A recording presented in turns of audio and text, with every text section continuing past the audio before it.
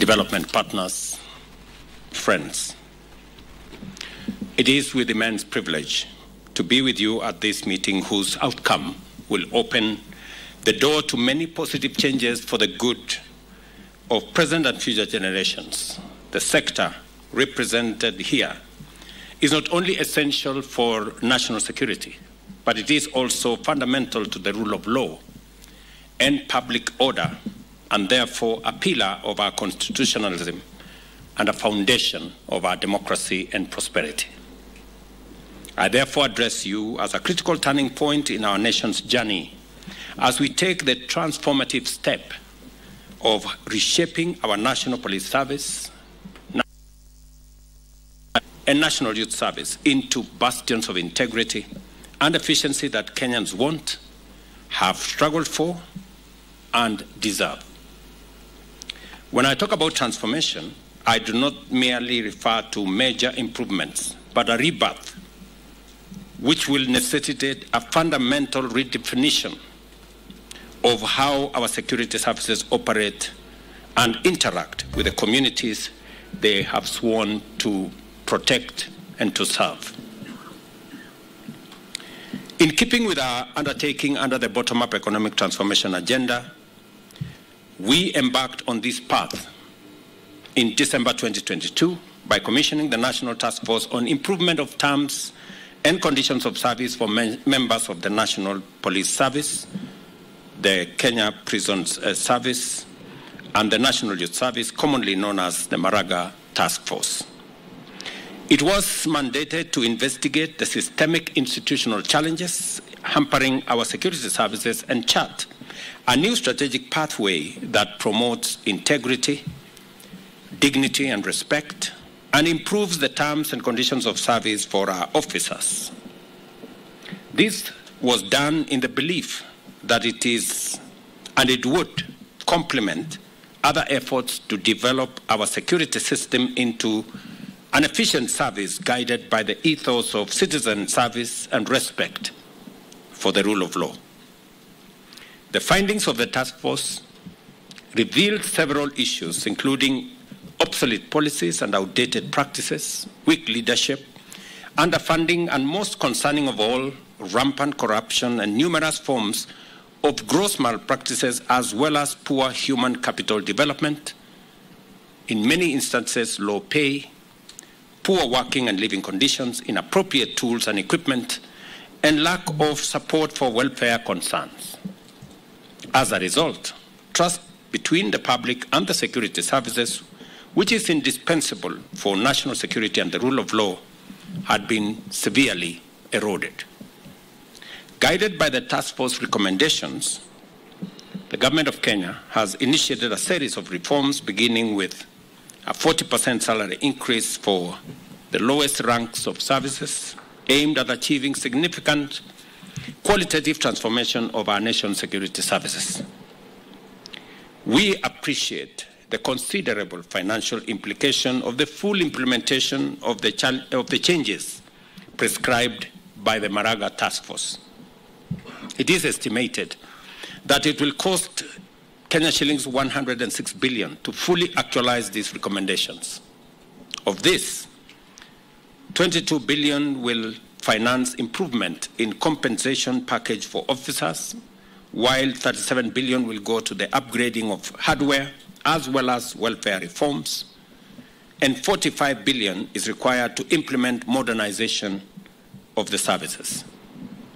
To ensure that our commitment to overhaul these crucial institutions is accompanied with the necessary resources, the required funds will largely be provided for from the exchequer and from various other partners whom we will engage.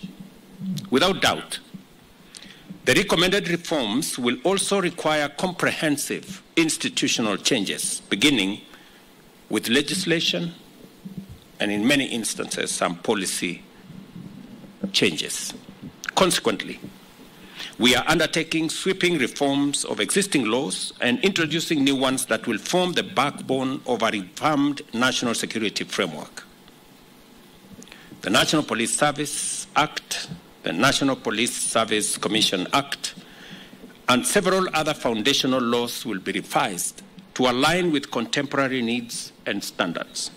And so will the legislation that will include the Kenya Correctional Services Bill and the National Forensic Science Laboratory Services Bill, which will also provide the necessary legal structures to support the changes that have been proposed. And we will be implementing this to modernize the security services and propel them to the highest standards of policing and best practice. To provide for seamless, expeditious, and effective progress in the task force at, in the task at hand, I make the following directives. First, the institutional arrangements necessary for the implementation of reforms shall be facilitated by respective ministries, departments, and agencies. Any changes and any challenges encountered during the implementation phase shall be addressed and resolved without delay through the established mechanism and this particular the gazettement of this implementation committee will provide the necessary nexus between all the agencies to make sure that issues that stand out are resolved. Any challenges encountered um, in any manner shall be forwarded to this uh, committee. Further, I direct that development of policies and legislative reforms must be inclusive and must be participatory. The provision for public participation in our Constitution is no longer a sterile provision, it is a live uh, provision that demands the public be involved in how they want to see services, whether it's police service or the or the correctional service in the next form. I am also very happy that we now have a public participation bill in the House that will create the requisite standards for public participation to be all policy and uh,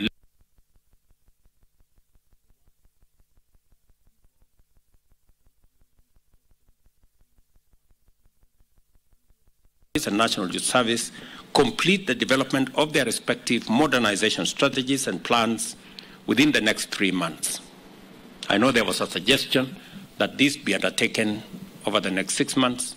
I think three months is sufficient so that we can begin to figure out how what was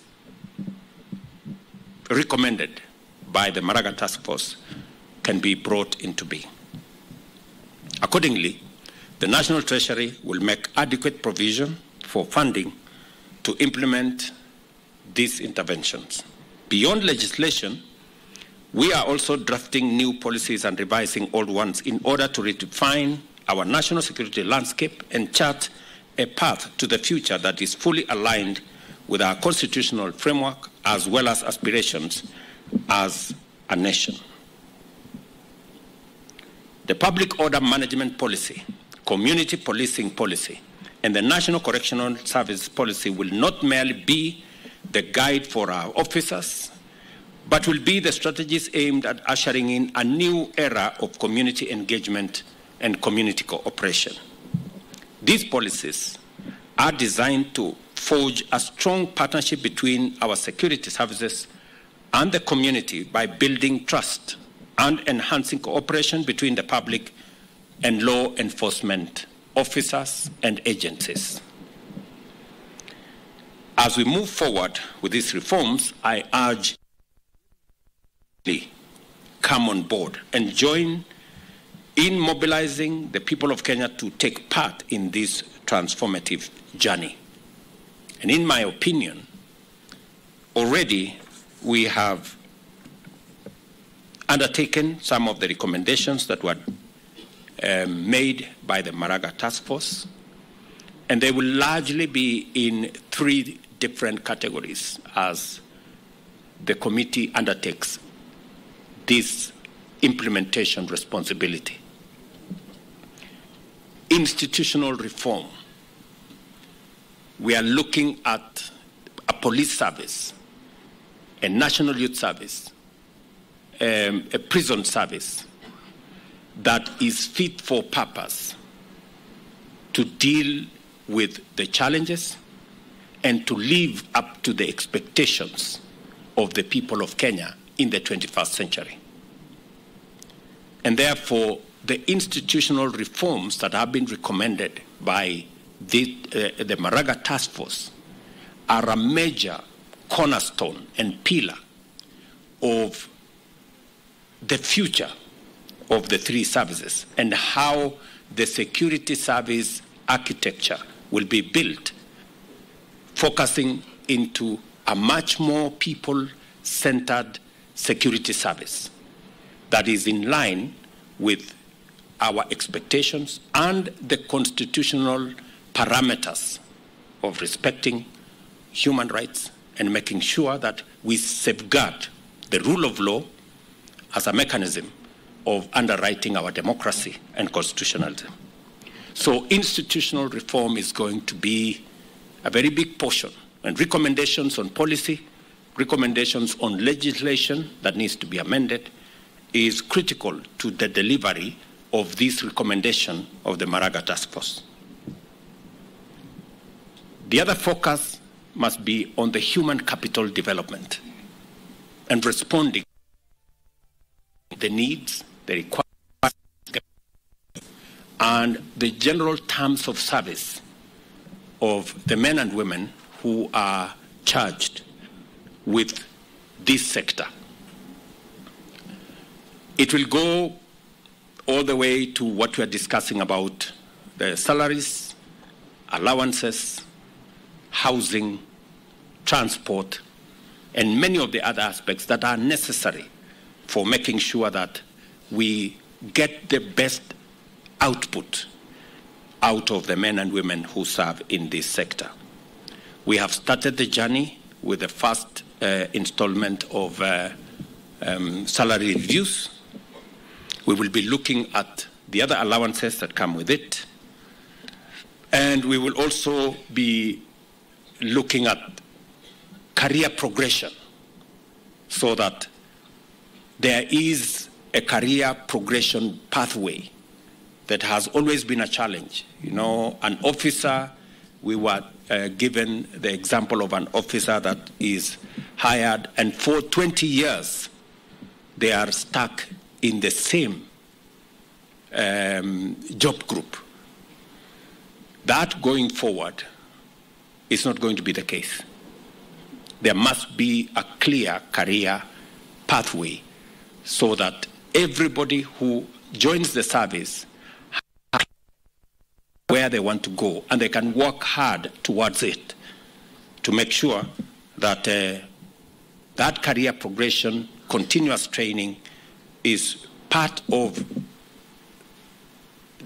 the um, available pathways for the people joining either the prison service or the National Youth Service or our police service. And the third aspect is going to be the space around equipment, around making sure that we have the requisite tools for the delivery of the job and the mandate for which the services have been uh, assigned. And this will include um, uh, capabilities around transportation, capabilities around communication, capabilities that will speak to um, digitization of uh, um, the services that we are engaged in. And my very clear instructions is as we digitize government services, we must onboard the digitization of police services, National Youth Service, and also our prison service. The legendary OB must be in digital form so that it is known if a Kenyan has been booked for whatever reason, it must be documented in a manner that cannot be tampered with. And I know there has been a process of digitizing our, our OB and the whole front, um, uh, the, the, the citizen-facing uh, front of uh, our National Police Service. That is an exercise that I would want to see completed in the shortest time possible so that it, we can have much more predictability. I would also want to see the payment of fines digitized, instant fines, and all the other things that uh, um, uh, occur around payments. We, we must stop the culture of dealing in cash. We are moving, we've moved away, and shortly we will have a cashless government that does not engage in the business of cash. I know there is a lot of resistance in some quarters, but we will make sure that this whole space has been, we've leveraged on technology to make sure that we can drive the reform and efficiency in this sector to ensure that we have better outcomes in the management of our security. I'm very happy that we are already making progress in all the three fronts. On uh, the reform front, we have legislation that is already in the House. We have legislation that has already been proposed. I want to encourage the implementation team to expedite the formulation of the different policy that have already been uh, worked on to complete and uh, brush some of the legislation that has been proposed so that we can engage Parliament in the shortest time possible. On matters equipment, we already have rolled out the modernization of our police uh, uh, service, the initial, the first phase.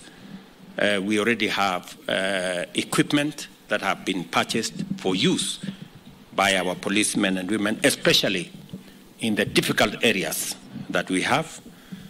And that process is ongoing. I committed that we're going to have a 20 billion shilling program to modernize our police.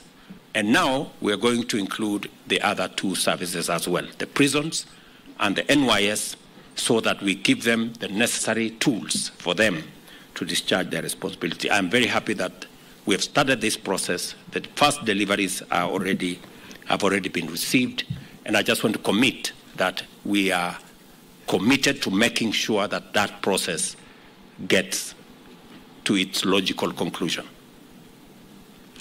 Let me also say that um, we have concluded the procurement of the first 1,000 e-vehicles that will be used by our police and members.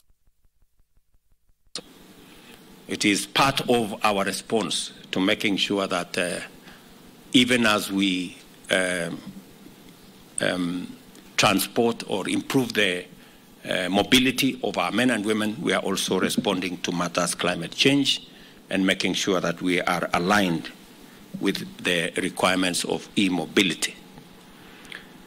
Let me also say that uh, along the same area of making sure that we are equipping um, uh, these services, uh, already there are houses that are complete.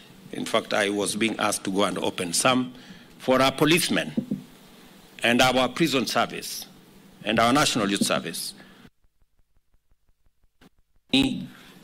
Our institution, we are undertaking our, under our housing agenda.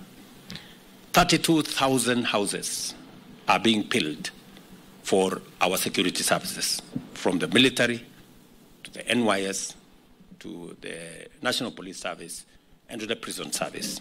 And I want to ask the PSS responsible here to make sure that they are in tandem and in line and in collaboration with the Ministry of Housing so that we can provide decent housing for our security men and women. We are aware that in some cases, some of our prison officers live in houses that are not so different. Because if an officer is living in a mud house, you know, the difference between a madhouse and a prison is, very, is very small. And, and that cannot be the case.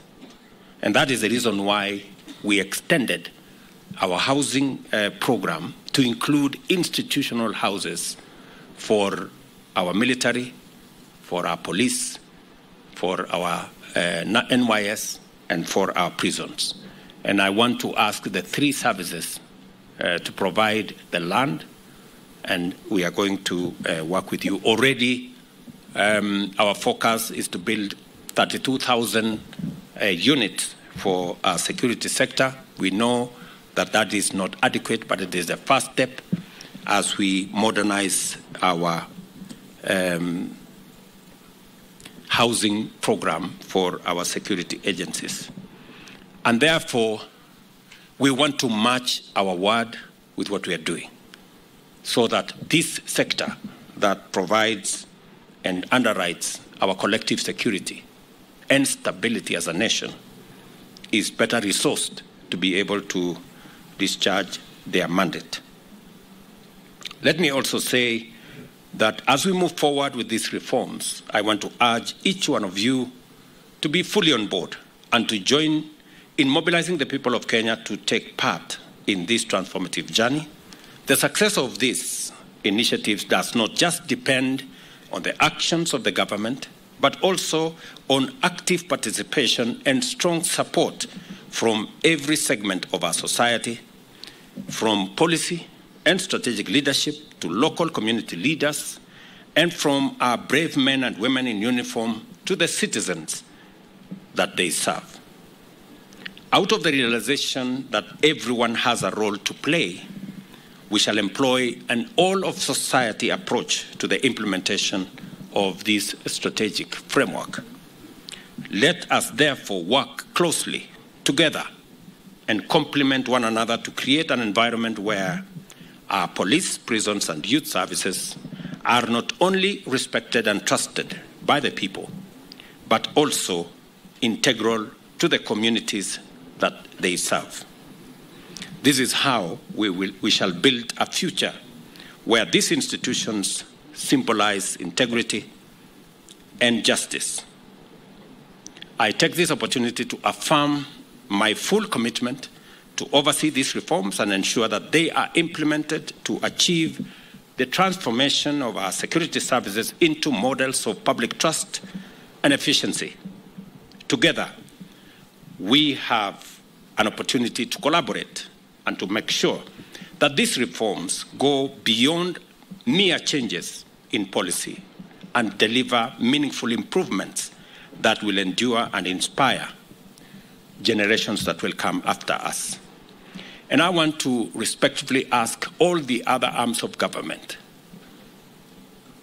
our parliament, our judiciary, independent institutions, to support these policy changes that we are making to our security sector because the security sector is the guarantor for our democracy and rule of law.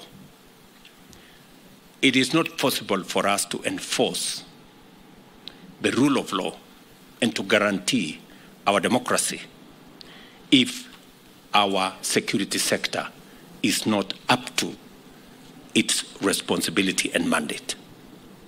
And therefore, a whole of government approach in reforming our security sector, making sure that the institutions in our security sector have the requisite institutional backbone and framework to support um, its modernization.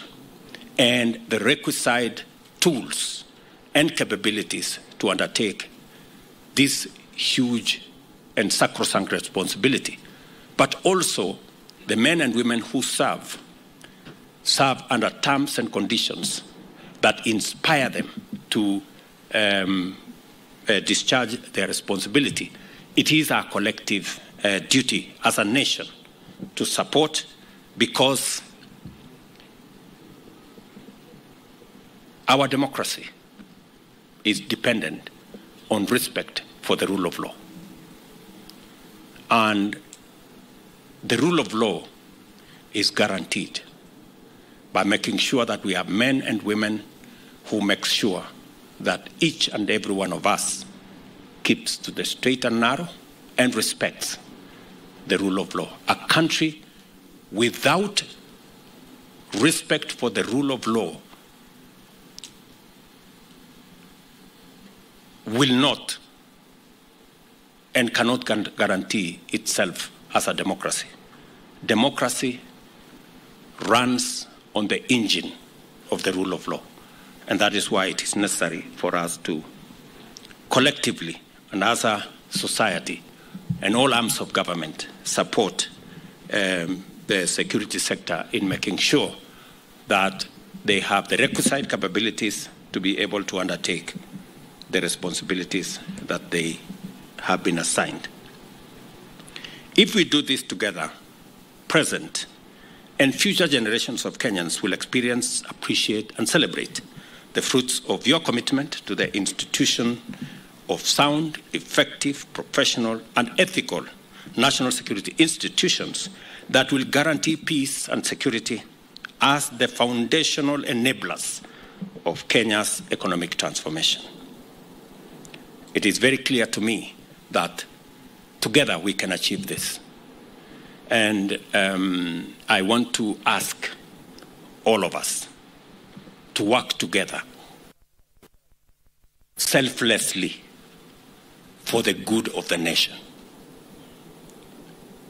I am acutely aware that the National Police Service is an independent institution, and so is the judiciary. But ultimately, we have one master, the people of Kenya. And we must make sure that we work together towards serving not interests of individuals, but the collective interest of the people of Kenya. And therefore, I want to ask for more collaboration, more working together, that the independence that we respect and enjoy must also look at how together, interdependently, can work towards achieving the greater interest and the greater good of uh, the people of Kenya. Um, so I really want to ask for a much more harmonious um, engagement and relationship uh, between our different um, arms of government and also our different independent institutions so that we keep focus not on what is good for one sector, but what is good for the greater good of uh, the people of Kenya. Because that way we will be serving the interest of the Kenyan people. We must, by all means, defend our democracy and the rule of law. We must ensure that we also defend our independent institutions. But we must also ensure that we work together towards the common good of uh, the people of Kenya, and that requires leadership that appreciates that our independence is for purposes of making sure that we serve the people of Kenya. It is not independence. It is for making sure that we draw the lines for us to operationally uh, work towards working for the people of Kenya. And I want to ask for greater understanding, greater accommodation, greater um, um, um, intergovernmental and interagency uh, collaboration for us to achieve what is good uh, for the people of Kenya without necessarily um, uh, disagreements that can uh, jeopardize the greater good of the people of Kenya. So, with this, I am very confident that the transformation, the institutional changes we are going to make, the policy changes we are going to make, the improvement in terms of uh, um, conditions for service, and the whole capabilities and equipment and tools that will be made available to our security sector will help in making sure that our country continues to be a country based on the rule of law and that also protects our democracy and the rights of every uh, Kenyan. So I am very happy to be part of this occasion. I want to ask uh, the chair and the members of the committee that will be charged with this implementation that I will be keeping tabs on the progress to make sure that what has happened with many task force reports, the famous gathering dust in some places, does not happen to this report. My very best wishes. Thank you very much, and God bless.